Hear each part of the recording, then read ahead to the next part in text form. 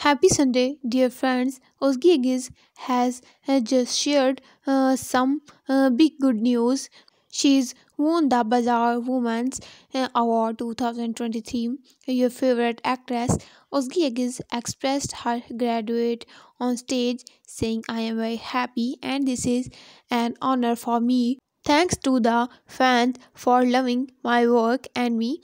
And thank you to the Bazaar Women's team. Özge had a special message for her fans, family, and loved ones, and she gave a heartfelt speech expressing her joy for receiving the prestigious award. But that's not all. Özge shared a significant announcement.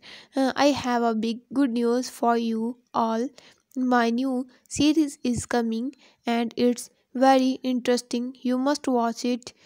She continued, I know you love my work and I am uh, confident uh, you all enjoy this new series, dear friends.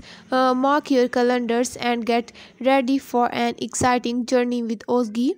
Uh, so uh, that's your opinion, dear friends. Are you excited about Özge Yağız's new series? Share your thoughts in the comments box below. Remember, this is a fantastic moment for Özge and her fans. Let's celebrate together and look forward to the upcoming series. Stay tuned for more updates on your uh, channel, Turkish Secrets. Wishing you all a wonderful Sunday filled with joy and excitement. Uh, don't forget to like, share, and subscribe for more exclusive updates. Until next time, take care. Bye.